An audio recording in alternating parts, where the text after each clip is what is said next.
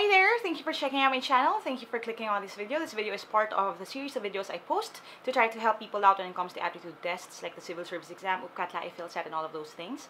Today we're going to talk about a topic na I felt na kailangan natin pag-usapan. Not only dahil maraming nagre-request, but because I noticed kahit dun sa mga exercises that I post dun sa ating Facebook page, which is www.facebook.com slash teamlaika, uh, every day, nanonotice ko na maraming nagkakaroon ng problema when it comes to division. Specifically, long division, which is yung pag marami ng numbers na involved. And so I figured out, let's go back to the basics and then let's talk about this para matulungan kayo. Kasi hindi lang ito para dun sa mga simple operational problems. Magiging problema rin ito sa atin if you are not comfortable with long division kasi pagdating sa mga word problems, some of those would require you to divide numbers. So ano ba yung pwede nyong gawin what are the the techniques that I use and ano ba yung ginagawa pagdating dito kasi I understand may iba sa atin nakalimutan na kasi tagal na natin hindi ginagamit ito. Ever since nagkaroon na ng mga calculators sa cellphones, we don't usually compute na ng manually. But uh, since pagdating sa civil service exam, walang calculator, yun yung pag-uusapan natin today. So in order for, uh, for me to discuss this better and demonstrate it to you, I'm going to switch over to my PC so I can show you. I'll see you in a bit. Alright, so uh, like I promised you guys, I'm going to make a video on long division. So first part tayo, we're going to start out with the basics, which is yung whole numbers. Alright? Uh, I think, again, kailangan rin balikan itong mga bagay nito kasi nakalimutan na. So, we are going to start with the pinaka-basic pa rin. Now, what I would encourage you to do would be first to listen, and then when I say that you should try it out, go ahead and grab a pen and paper and try it out talaga. So, para ma-refresh kayo. Okay? So, let me just discuss this first. Doon muna tayo sa concept. So, learn it muna tayo. Uh, ito yung classic example. So, when pag sinabi na 477 divided by 9, uh, ito yung gagawin natin. You can also write this down as this, 477 over 9. It's actually the same thing. And um, actually, if you noticed sa aking mga videos, and I, I feel like the people who requested na I make long division video video lessons, uh, nakita rin yun na I do something differently when I divide numbers. I don't go through this entire thing anymore. Now, I'm not going to challenge you to go straight to this muna. The reason lang kung bakit uh, you would see me, di ba, sometimes magsasolve ko, tapos sasabihin ko lang, ah, basta ito yung sagot. The reason why I'm able to do that really is because of years of practice. Um, as a kid, I I wasn't into having a calculator. And uh, funnily, kahit nung high school kami, sa subjects na pwede ka magdala ng calculator, nakakalimutan ko usually magdala ng calculator. I lost a few calculators during my high school years. Some of them I lost, some of them uh, ninakaw ng classmate or something like that. Uh, and I remember some of my teachers would allow us to take the test without the calculator. So I kind of survived like that. Na I had to calculate things without a calculator kasi nga, I'm either too lazy to bring my calculator with me and I forget or nawala yung calculator ko. So that's also again, that's the reason why I'm hindi ko sinasabing gayahin niyo ako no, lalo na if you're younger and you're watching this. But uh I think you become more familiar with numbers the more you do it. The more you encounter them. So that's the reason why. But we're going to go straight dito muna dun sa traditional method ng long division. Kasi if solid kayo dito, you'll be able to devise ways then for yourself. Okay? Ngayon, um, when it comes to divi- dividing like this, you have to think in terms ng left to right. Okay, we're going to start from left to right. And you have to take them one at a time then. Okay? Now, in this case, ano ibig sabihin nun? We're going to look at 4 first. Okay? Now, the problem with 4 is, kung sinabi ng 4 divided by 9, hindi siya pwede. Kasi masyadong mas maliit yung 4 uh, kaysa sa 9. So when that happens, wala ka naman kailangan gawin. You just move on to the next number. So instead of dividing it by and 4 by 9, which is hindi pwede, you look at it as 47. Again, don't, huwag nyo munang galawin tong reserva na to. Okay, dito muna tayo, 47. Ngayon, some people ask din, paano mo nalalaman na, katulad dito, 5 ito. Paano ko na malalaman kung 5 yan or 6 or anything like that. Rule of thumb, here's what I do. Hindi lang dito, but even for the bigger numbers.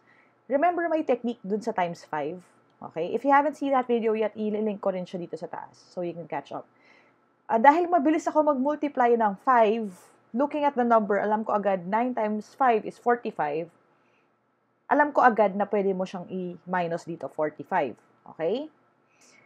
Uh, and again, it goes the same way for bigger numbers. Okay? Now, paano kung uh, kulang, edi magdadagdag pa ako ng isa para times 6. Magdadagdag ako ng dalawa para times 7. Kasi the way my mind works is times 5, which is alam ko automatic na, and then I can just dagdagan ko na lang siya ng times 1 plus times 1. Ina-add lang naman yun so I can do it mentally. So that's how I do it. But again, if you don't uh, get this right away, pwede ka rin mag-trial and error. Okay? Uh, lalo na for the bigger numbers. We're going to deal with that uh, later, okay? And uh, later on dun sa ating lesson naman. Dito muna tayo focus sa question at hand, no? Ngayon, bakit 45 nilagay ko dito? Kasi yun yung 5 times 9. Yun yung exacto. 5 times 9, susulat mo dito 45. Okay? Ibabawas mo siya dun sa 47. Ngayon, ang ibig sabihin nun, 47 minus 45, may matitirang 2. Okay? And then, right there, kasi nga tapos ka na sa dalawang number, ibababa mo ngayon itong number na nasa right niya. Immediately beside it. So, 27. So, 27 naman divided by 9. 9, 18, 27, that's 3. 3 times 9 is 27. Okay, ma-minus mo rin siya doon. And when you get to 0, ibig sabihin tapos na yung, or tapos na yung uh, pinaka-problem niya. Final answer na ngayon yung 53. Ngayon, again, ano ang gusto ko ma-develop ninyo, lalo na kung nakalimutan nyo na to at hindi nyo na alam yung gagawin? Matuto kayo magbaba ng isang number at a time. So, without to 4, hindi pwede. So, naging 47. Sinolve mo na yung 47 bago binaba yung 7. Okay? So, again, here's what's going to happen. I'm going to switch over dun sa next slide. And then I'm going to give you a minute to solve the problem. Okay?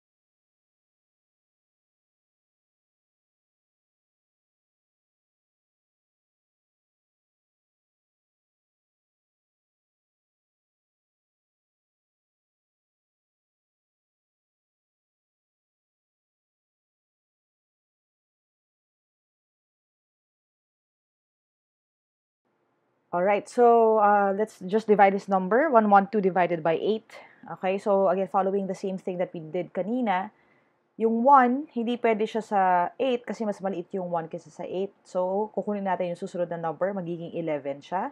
11 divided by 8 is 1. Meron kang isang 8 dito, ima-minus natin siya. So, 11 minus 8 is 3. Tapos, ibababa na natin ngayon yung number na kasunod. So, 2, 32. 32 divided by 4. So you have 8, 16, 24, 32, which is going to give you 4. 14 times, uh, 4 times 8 is 32 din. So, 32. Wala ka na remainder. So, ibig sabihin nun, the final answer is 14. So, I hope you got that right. Okay? So, again, practice, practice, practice. Okay? There are um, ways for you naman to practice this, you can use, again, kite plate numbers actually when we were bigger, that's what we did. Um, or any number or any worksheet, no? I'm also going to post questions naman din sa ating Facebook page. Alright? So, that, ito yung pinaka-basic concept niya. Okay? Na, ang gusto ko, again, nakuha nyo na dapat yung concept ng right, lang left to right, and yung pagbababa ng numbers ng isa-isa, one by one. Okay? Yun yung first skill natin. Ngayon, tataas ko ng level a little bit paano kung maraming zeros. Okay?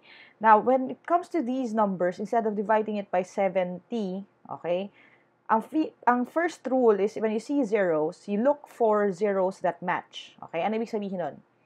Dapat, okay, kung may isang zero dito na pwede akong tanggalin, at may isang kamatch or kapare siya doon, pwede ko siya i-cancel. So, instead of dealing with 436,100 divided by 70, magiging 4,000 uh, 43,610 na lang divided by 7. That way, again, nabawasan na yung digits na iniintindi natin. It's easier naman to deal with 7 kaysa sa 70.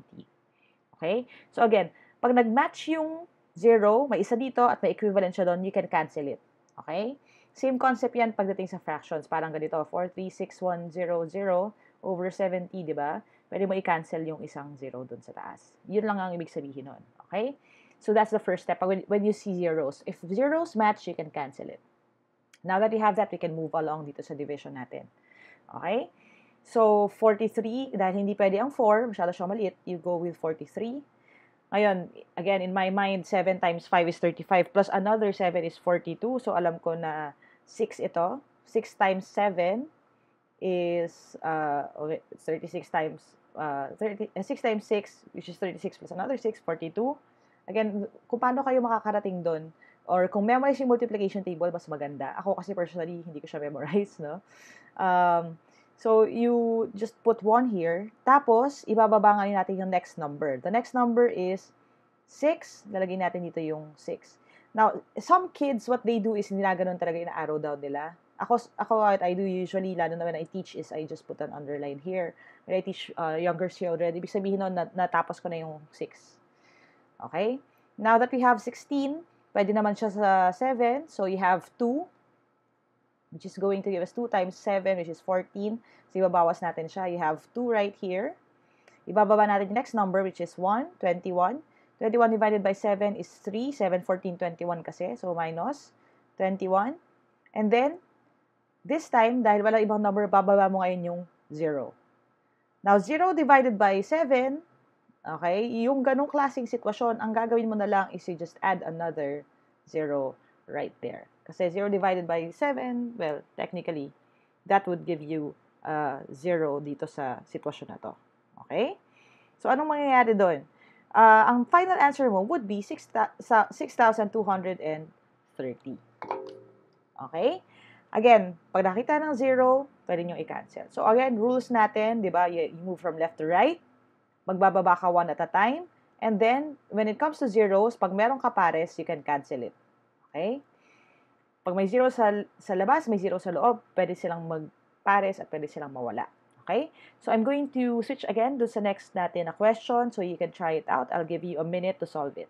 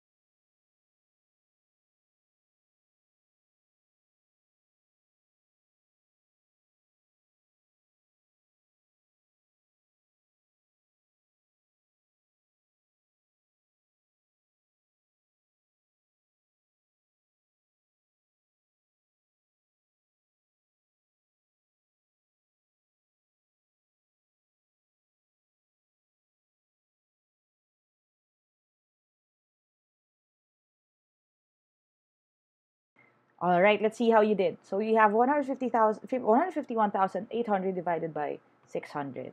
Again, first step natin, since may zero sa loob, may zero sa labas, ima-match lang natin siya. So, cancel natin isang zero doon, makakancel lang yung isang zero doon, makakancel isang zero doon, isang zero doon. So, mauubos lahat ng zero dito sa problem na to. Instead of dealing with uh, 151,800 divided by 600, magiging 1,518 divided by 6. Okay? So, yun yung ating first step.